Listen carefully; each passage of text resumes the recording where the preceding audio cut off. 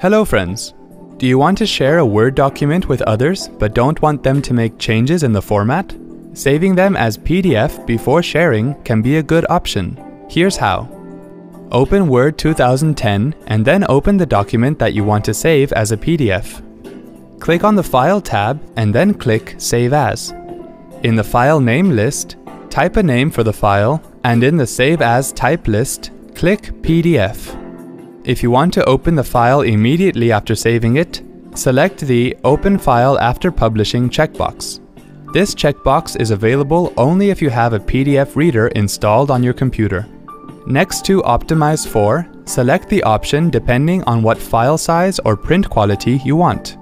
To specify various options for the file, click on Options. Select the options of your choice and then click OK. Click on Save when done. Hope this was helpful. Have a good day.